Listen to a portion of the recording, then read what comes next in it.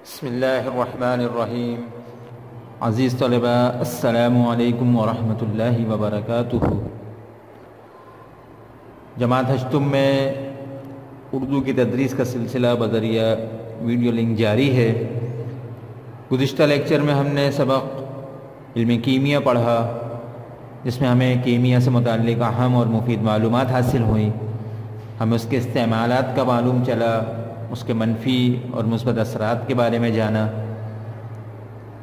और जिस तरह हर सबक के अख्ताम पर एक मश्क की जाती है और उस मश्क में सवाल मौजूद होते हैं और उन सवाल का ताल्लुक़ सबक में मौजूद मालूम से होता है, ताकि ये जांचा जा सके कि सबक हम कितना समझ गए और सबक की जो मालूम है हमें किस हद तक वो याद है। इस बात को समझाने के लिए और समझने के लिए मश दी जाती है। तो सिलसिला आगे बढ़ाते हैं तदरीस का और इस सबक के जो सवाल हैं उनको देखते हैं। आपकी किताब के सफ़ा नंबर चौरासी, यानी कि पेज नंबर 84 पे मशक़ी सवाल मौजूद हैं। किताबें खोल लीजिए, इनको देखते हैं कि किस सवाल का क्या जवाब बनता है। और अपने सिलसिले को आगे बढ़ाते हैं। किताबें खोल लीजिए, सफ़ा नंबर चौरासी।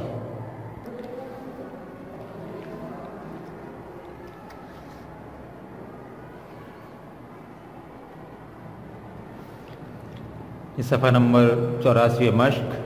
मश्क का सवाल नंबर एक। और सवाल नंबर एक में फिर मुख्तलिफ़ जुज़ हैं, अलिफ से लेके है तक।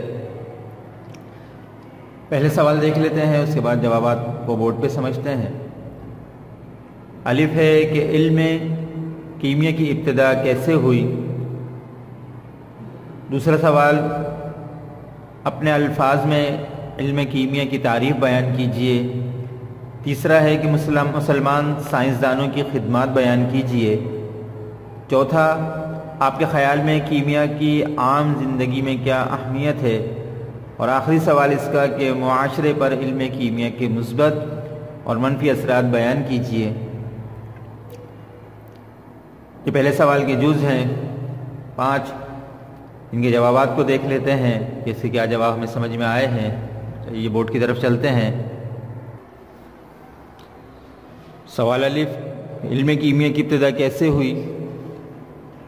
तो इसका जवाब बोर्ड पे कुछ इस तरह तहरीर है कि इल्म कीमिया की तारीख़ इतनी ही पुरानी है जितनी इंसानी तहजीब। सदियों पहले इंसान ने आग को जलता देखकर अपनी कीमियाई सरगर्मियों का आगाज़ किया और आजमाइश और चूक ही इल्म कीमिया की इब्तदा है।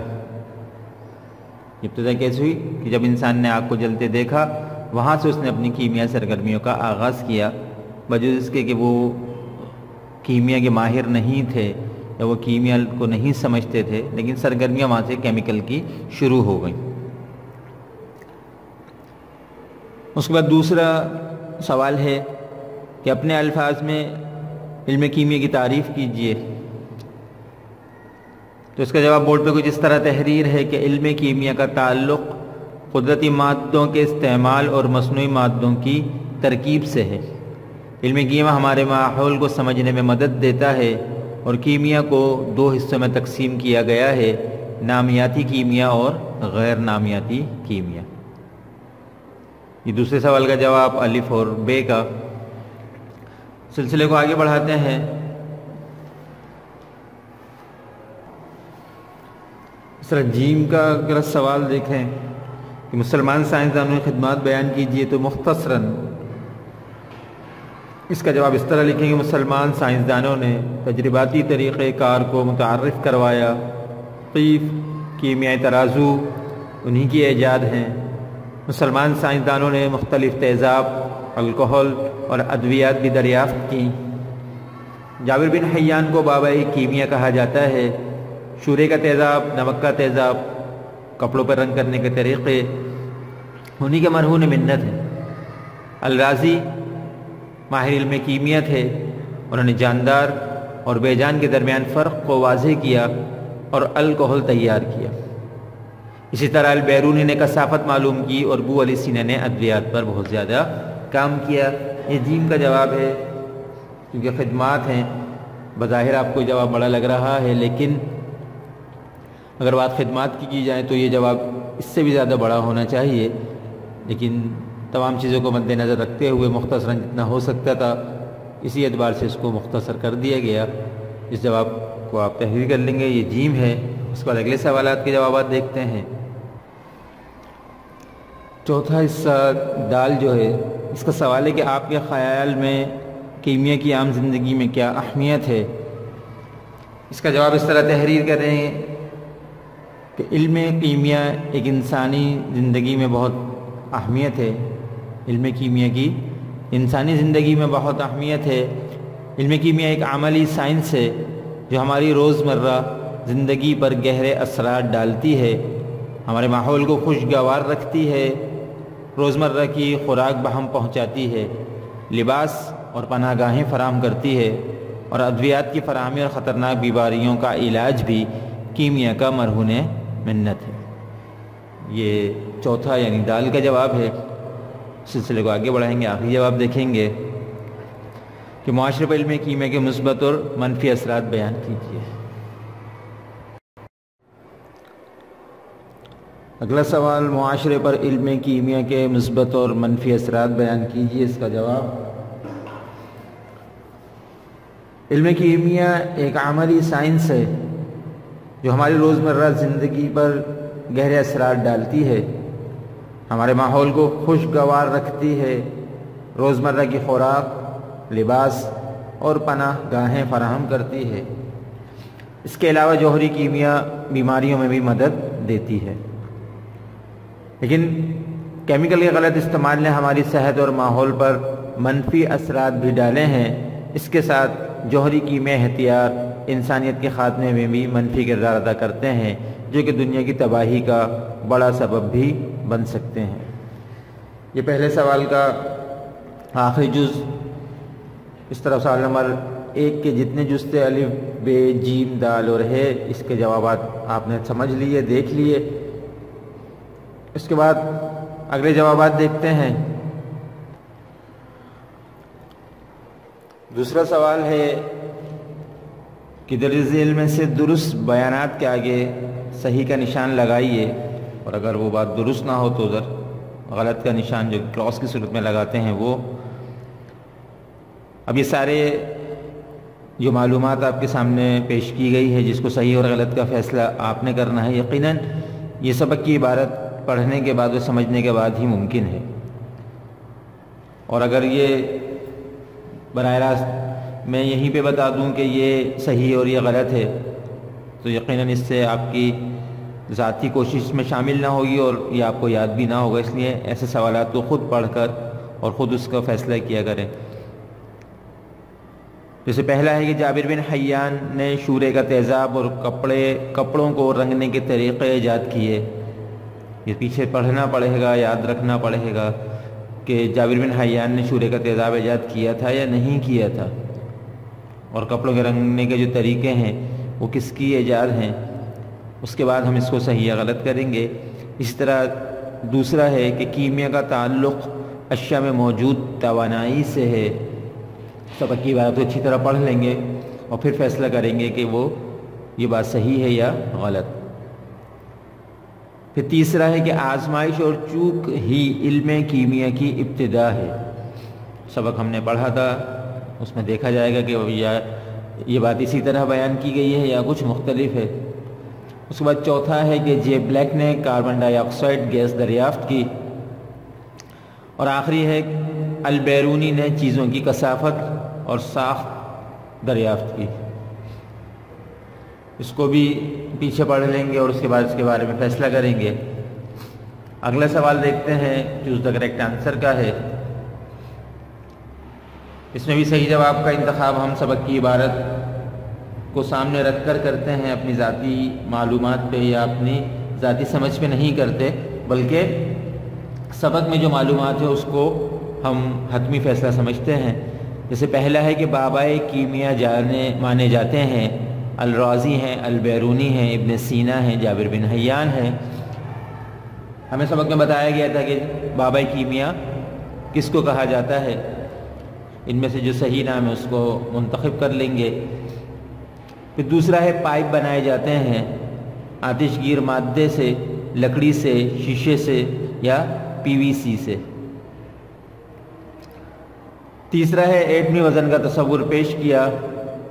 जॉन डॉल्टन ने, जे ब्लैक ने, रॉबर्ट बॉयल ने या जे जे बर्सले ने। चौथा है कि कईफ और कीमिया तराजू ईजादात हैं। यूनानियों की रूमियों की, मुसलमानों की या जदीद साइंसदानों की। और आखिरी है, एटम की साख्त दरियाफ्त की। मादाम तसाओ ने, मादाम क्यूरी ने, क्यूंडिश ने या शेले ने।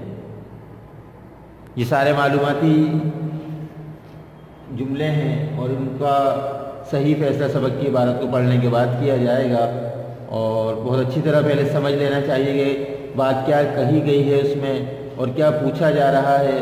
कोई मामूली सी उसमें तब्दीली तो नहीं कर दी गई है? इन तमाम चीज़ों को देखने के बाद फैसला किया जाता है। इसी तरह इसके बाद नेशनल कॉलम का सवाल है। आसान होता है, लेकिन अगर हमें सही से मालूम हो तो। जैसे कॉलम अलिफ और बे को मिलाइए एक तरफ़ कॉलम अलिफ है कार्बन डाइऑक्साइड जानदार और बेजान, कसाफत शेल और कॉलम बे में है अलराजी, क्लोरीन जे ब्लैक अलबैरूनी। जो बात जिससे मुतक है, उसको उससे मैच कर दिया जाएगा। जैसे हमने सबक पढ़ा कि कार्बन डाइऑक्साइड किसकी दरियाफ्त है तो हम उनके नाम के साथ मिला देंगे। इस तरह इन तमाम मालूम को सबक पढ़ के सही, दुरुस्त मालूम आपस में मिलाई जाएगी, कॉलम मिलाए जाएँगे। इस तरह ये पांचवा सवाल है, ये भी सही और गलत से मुतक है। इल्म कीमे की तारीख़ ज़्यादा पुरानी नहीं है। आपने सबक पढ़ा था, उसमें बताया गया था कि इल्म कीमिया की तारीख़ कितनी पुरानी है। उस बात को सामने रख के आप बताएँगे कि ये बात सही है या गलत है। दूसरा है, इल्म कीमिया का ताल्लुक़ मादे और तोानाई से है। तीसरा है ऑक्सीजन की दरियाफ्त से हैज़ा और पेचिश ख़त्म करने में मदद मिली, बीमारियों के नाम हैं। चौथा है, जौहरी कीमिया को इंसान के फ़ायदे के लिए इस्तेमाल किया जाता है। जौहरी कीमिया को इंसान के फ़ायदे के लिए इस्तेमाल किया जाता है। और आखिरी है, इल्म कीमिया, अमली साइंस नहीं है। इसमें भी सबक की मालूम को सामने रख कर गलत व सही के निशानात लगाएँगे। इस तरह पाँचवा सवाल भी आपके अपने करने का है, इसको खुद समझेंगे और सबक की इबारत देख के इसको करेंगे। उसके बाद आखिरी सवाल, कि दर्जेल अमसाल के मानी लगत से देख कर लिखिए। ज़रूर मिसल आपने पढ़ी थी, कभी हमने इसकी तारीफ़ भी लिखी भी थी, इसको आपको याद करने के लिए दिया भी था यकीन आपने याद भी कर लिया होगा। तो यहाँ पे कुछ ज़रूर अमसाल दी गई हैं, जैसे आवेल मुझे मार, जैसा देश वैसा भैंस, बगल में लड़का, शहर में ढंडोरा, चराग तले अंधेरा। ये चार ज़रूर अमसाल यहाँ पे दी गई हैं। लगत से आप इनको देखेंगे। लगत से इनके मायने देखेंगे कि लगत इसके क्या मायने बताती है। और इस सवाल को इसी तरह करेंगे, इस हम अल्फाज में आने कर लेते हैं। इसी तरह एक तरफ़ हम ज़रबुलमसाल का कॉलम बना लेंगे और उसके सामने माने का कॉलम बना लेंगे और इस तरह ये सवाल जो है वो कॉपी में अल्फाज माने की तर्ज पर किया जाएगा। ये सवाल नंबर छः तक आपके जवाब सब समझ में आ गए होंगे यकीनन। ये काम, ये मश मुकम्मल हुई सबक मुकम्मल हुआ। डायरी नोट फरमा लें कि तमाम सवाल के जवाब तहरीर करें, मुकम्मल करें, जो समझाए गए हैं, डायरी नोट फरमा लें। ये डायरी नोट फरमा लें इल्म कीमे के सवाल नंबर एक और छः के जवाब तहरीर करें। बाकी सवाल हैं खाली जगह और सही गलत के और मैच कॉलम के। मैच कॉलम का काम कॉपी में कर कर लीजिए और सही गलत खाली जगह जो है वो किताब में ही हल कर लीजिएगा। बाकी ये तीन सवाल आप कॉपी में कर लेंगे। सवाल नंबर एक के तमाम जवाब सवाल नंबर छः ज़रबुल मिसाल वाला और मैच द कॉलम। इस तरह हमारी यह मश मुकम्मल हुई। दूसरी वीडियो दूसरे लेक्चर में इंशाल्लाह नए सबक और नई चीज़ों के साथ दोबारा मुलाकात होगी। जब तक के लिए अल्लाम वरहमल वर्का